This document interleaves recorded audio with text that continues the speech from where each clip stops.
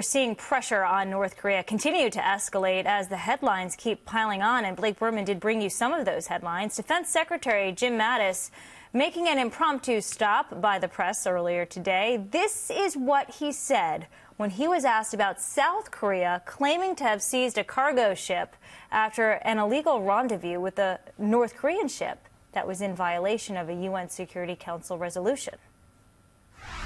Obviously, if a government finds that uh, there's a ship in their port conducting trade that was forbidden under the UN Security Council resolution, then they have an obligation, and so far we've seen nations take that obligation seriously. Well, the defense secretary also asked if he was impressed with North Korea's missile program and the advances that it's made. He replied, quote, nothing impresses me. And with that, we bring in Fox News strategic analyst, Lieutenant Colonel Ralph Peters. Uh, Hi, good Lauren. to see you. Good to see you. And I, Jim Mattis may not be impressed with them, but I'm always impressed with Jim Mattis. If there is one man or woman anywhere in our government that the American people can trust without any reservations, it's Jim Mattis. He's a good, good man.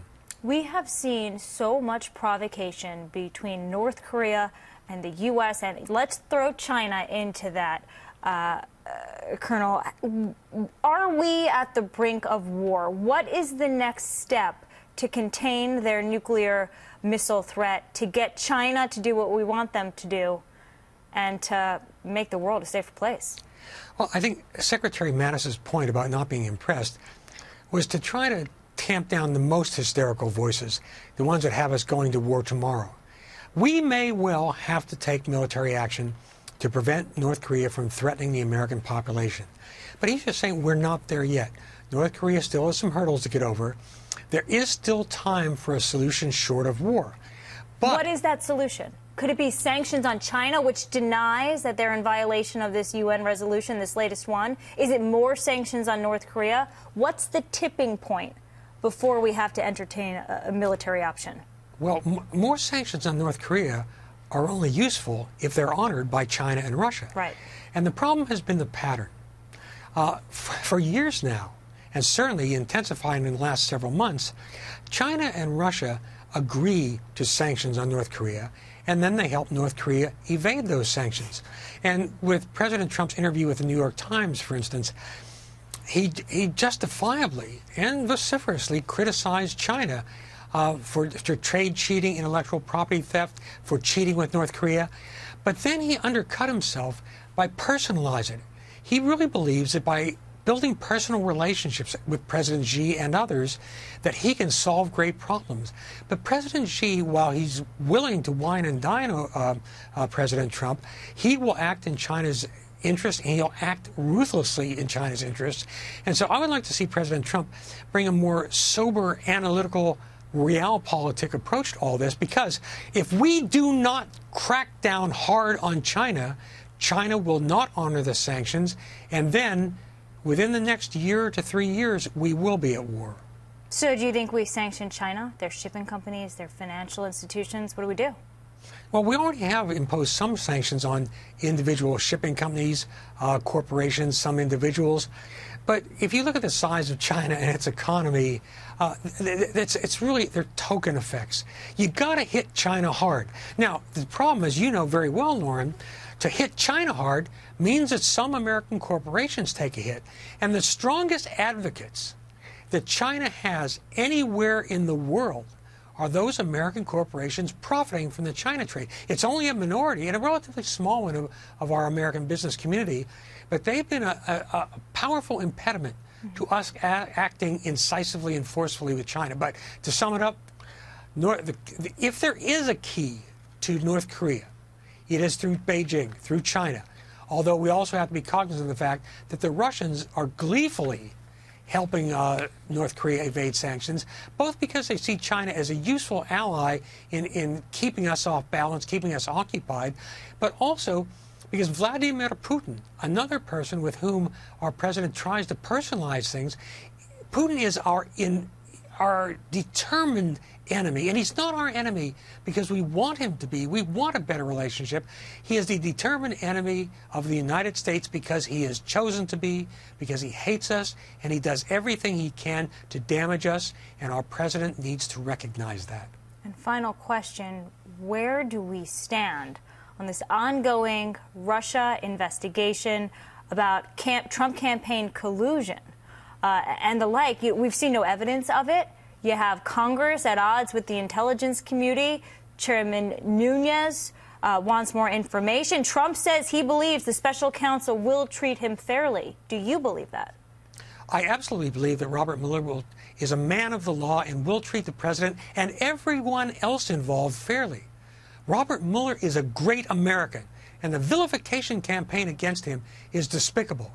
Every American who truly loves this country and values what we have should want to know what the Russians did, how they did it, and with whom they did it. It should not be a partisan issue. And again, President Trump personalizes it. It's not about him, it's about the security of our elections, which are the bedrock of our democracy. If I could have one wish for 2018, it would take the, take the politics on both sides out of what is a very serious issue crucial to our democracy. Well said, Lieutenant Colonel Ralph Peters. Happy New Year to you. And Happy Thank New you. Year to you.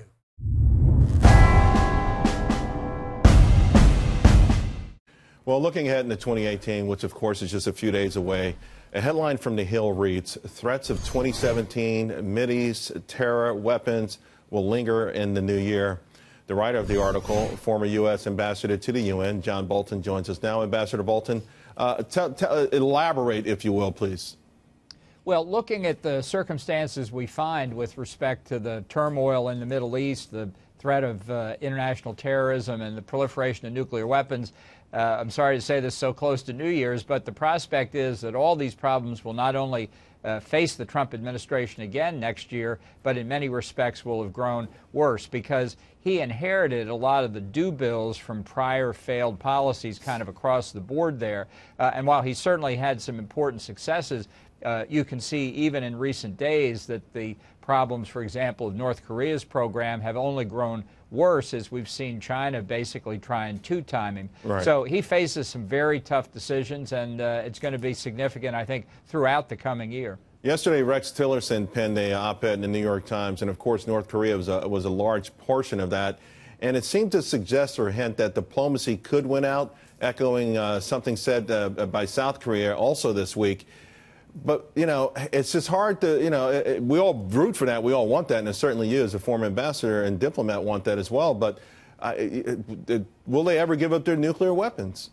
I don't think the North Koreans are ever going to voluntarily give uh, up their nuclear program. And I think we've seen uh, enormous pressure through sanctions. This is a prison camp of an economy. Uh, its people have uh, lead desperate lives. Hasn't slowed the regime down at all. Which is why I think there's one diplomatic play left here. It's with China.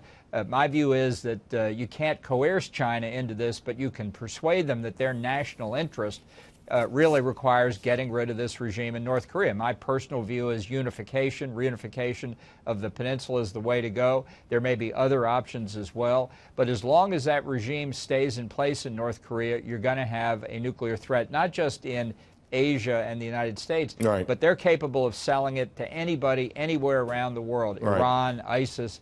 Uh, Al Qaeda, you, you, name it. In that New York Times piece uh, overnight, uh, President Trump apparently said he's been soft on China trade in hopes uh, in return that they will continue to pressure North Korea. And yet, they're not necessarily playing by the rules, but the clock is ticking. They must understand the, the gravity of the situation as well. I do have one more for you, Ambassador.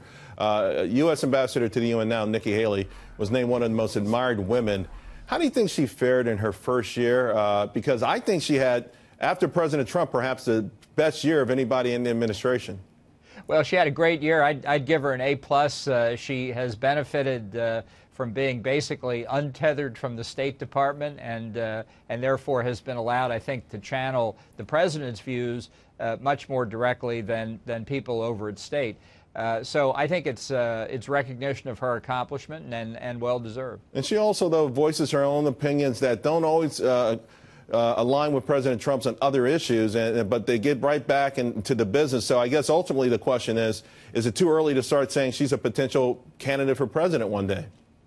Well, I think uh, there already is speculation about it. I think maybe unavoidably. She's been a successful governor in South Carolina. She's now uh, gotten foreign policy uh, experience, so opens the question how long will she stay in uh, New York? Uh, is she looking ahead? I, I, don't personally know the answers to those questions, but, but I'll make a prediction since we're getting close to New Year's Eve. I do think the first female president of the United States will be a Republican. All right. Thank you. Ambassador, always great talking to you, seeing you. Have a great new year. Happy New Year, Charles.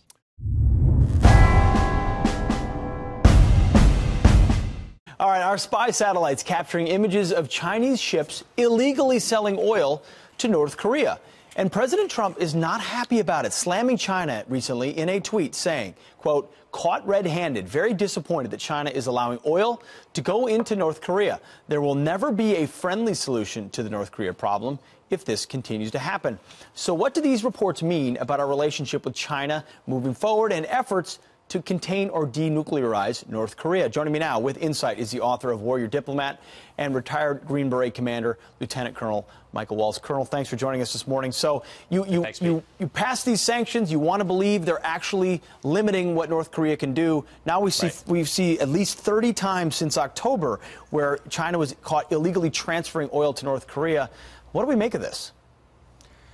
Well, Pete, for all of the criticism of President Trump for not engaging in diplomacy, you know, we just had the 10th round of sanctions passed in the UN, as you mentioned. And I think Nikki Haley deserves a lot of credit for getting the Chinese and the Russians on board. But the Chinese have been notorious for decades now for publicly agreeing to sanctions and then privately not enforcing them. So we're seeing yet another case of this again. Uh, I think where does the president go from here? Uh, one, I'm glad he called them out on the behavior. It needs to be done.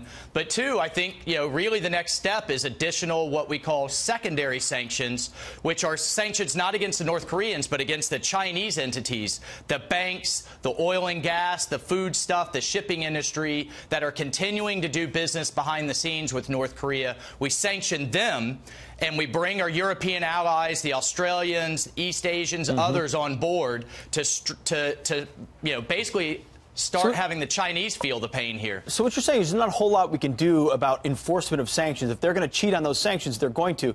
Eventually, we need to make it hurt for them. Uh, how right. close are we to? Because we've heard about these Chinese banks and how significant they are to, to the state there. How far are we in sanctioning them? Well, we did. We made some initial steps for a number of banks and a number, a number of individuals, but those sanctions. The problem here, Pete, is time. Those sanctions take time to actually have an effect. We need, from a diplomatic standpoint, to get others on board, Europeans mm -hmm. and other Asian countries, to have an effect. At the same time, though, we're on the clock.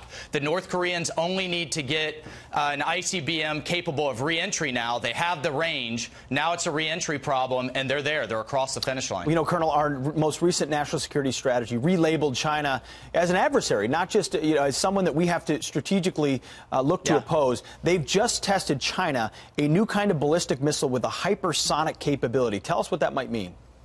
Well, these types of missiles can essentially fly under the radar. They can glide for a very long range. It makes it it makes it much more of a problem for our ballistic missile defense systems.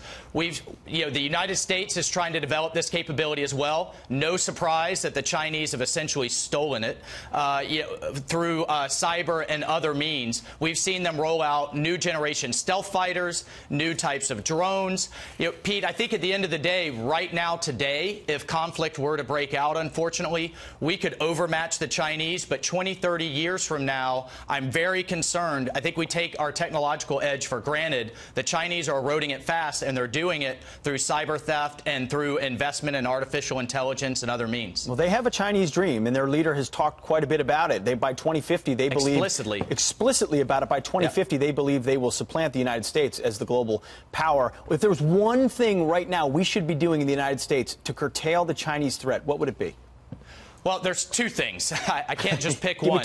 One is we have to, and this is why President Trump's investment in our nuclear triad and modernizing that and ballistic missile defense is so critical. Artificial intelligence, and then separately controlling our debt. The Chinese are the largest debt holder uh, through bonds of the of the U.S. deficit in the world, and that is a national security threat as well. Yeah, if they can hit us in our wallets, it's a serious problem. Right now we That's can, right. but if they have too much leverage, that's a bad deal. Lieutenant Colonel Michael Waltz, thanks a lot. Appreciate your time. All right, thanks. Good stuff.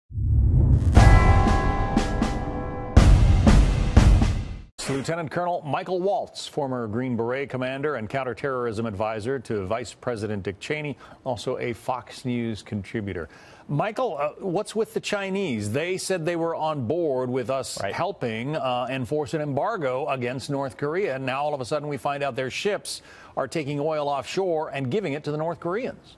Well, actually, John, this is par for the course for the Chinese over the past several decades, where they have repeatedly, for 10 rounds of UN sanctions now, publicly agreed with the sanctions regime and publicly agreed that North Korea must stop its nuclear program, but then privately, the trade, the black market deals, the oil and gas, textiles, other types of activities occur. So you know, those sanctions are only worth the UN paper that they're written on without Chinese enforcement, and that's what's so critical. Well, we've seen this movie before, and you That's must have seen it before in the White House.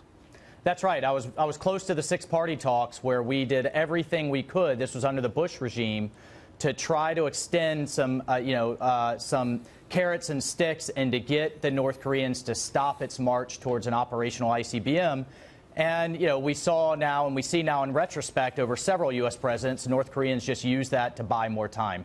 So you know, look, there is what what are the next steps? Uh, one, I would like to see the administration move towards secondary sanctions, actually on Chinese entities. So we're not just sanctioning the North Koreans, we're actually sanctioning China, and to get an international coalition to join us. We've started down that road with some banks and some oil and gas uh, exporters, but we need to tighten the noose there and make the Chinese feel the pain for continuing to do business with North Korea. And also, you know, there is mention of a blockade.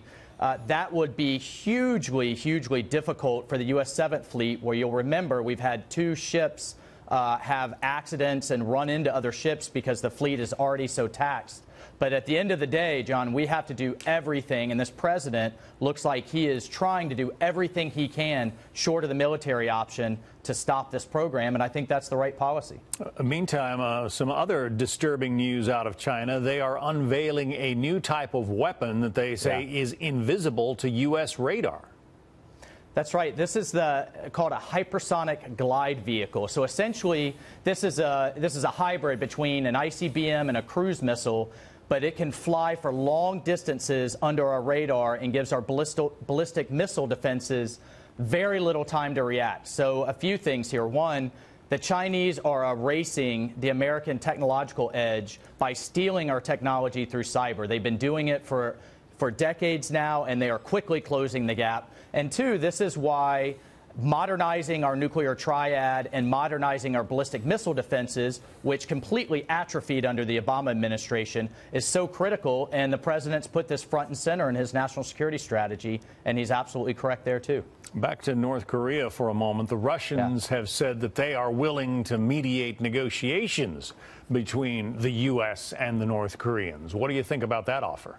So you're seeing Putin here try to interject himself. He actually offered for Russia to sit sit down kind of in the middle of the table between the North Koreans and the United States. The Trump administration's rejected that idea. I don't blame them. It's a bad idea. But what I'm following closely is whether Putin will tie the North Korean issue and cooperation on that issue to the Ukraine and Syria and other issues. Uh, the Trump administration, president just recently authorized a very tough step in selling anti-tank missiles to Ukraine as a defensive measure. The Russians are extremely unhappy about that. And I'll be interested to see now if they back off cooperation in North Korea and other issues as, as leverage in that back and forth in our relationship. Lieutenant Colonel Michael Waltz, thanks for your perspective.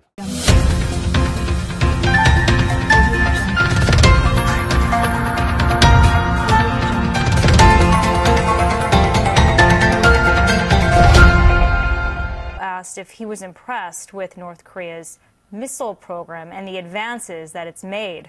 He replied, quote, nothing impresses me. And with that, we bring in Fox News strategic analyst, Lieutenant Colonel Ralph Peters. Uh, Hi, good Lauren. to see you. Good to see you. And I, Jim Mattis may not be impressed with them, but I'm always impressed with Jim Mattis. If there is one man or woman anywhere in our government that the American people can trust without any reservations, it's Jim Mattis. He's a good, good man.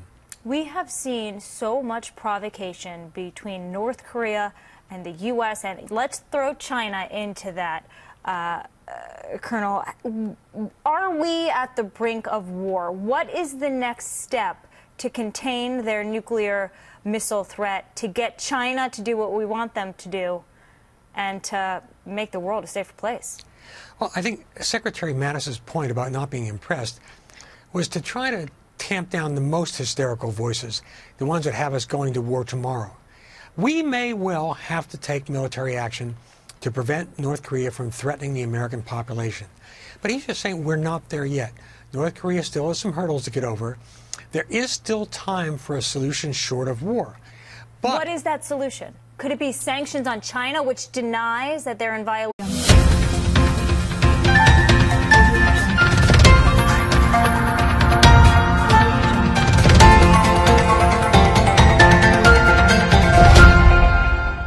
We're seeing pressure on North Korea continue to escalate as the headlines keep piling on, and Blake Burman did bring you some of those headlines. Defense Secretary Jim Mattis making an impromptu stop by the press earlier today. This is what he said when he was asked about South Korea claiming to have seized a cargo ship after an illegal rendezvous with a North Korean ship that was in violation of a UN Security Council resolution.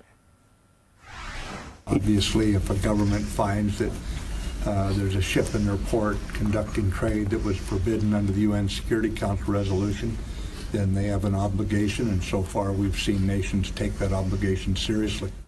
Well, the defense secretary also